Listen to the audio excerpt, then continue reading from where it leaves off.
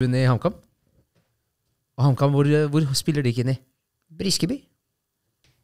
Ja, det er en, eh, Surprise, motherfucker!